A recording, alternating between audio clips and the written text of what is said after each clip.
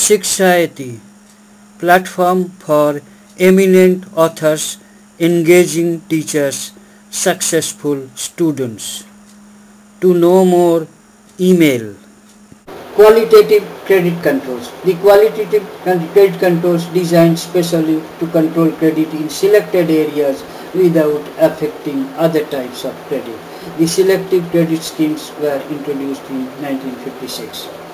Qualitative credit controls are very successful during period of inflation by imposing various restrictions and through direct action central bank can control credit. Qualitative control measures margin regulation. Margin means the difference between the value of security and loan advance. The central bank may direct the commercial banks to vary the margin against loans and to control the credit creation power of commercial banks. Consumer credit regulation. Regulations to restrict loans for installment purchases of specified commodities like motor car. Selective controls of loan may be exercised.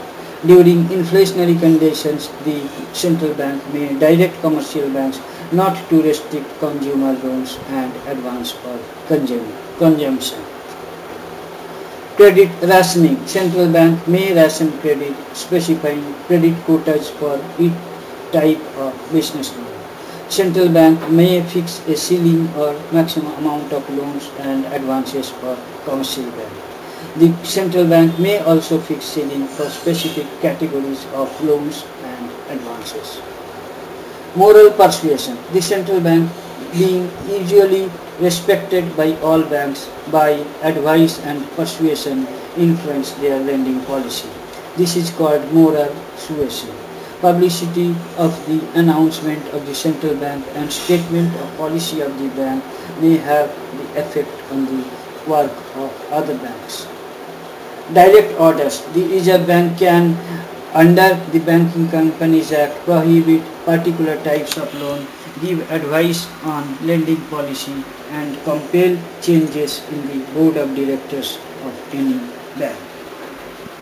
Thank you for watching the video. Kindly write your comments.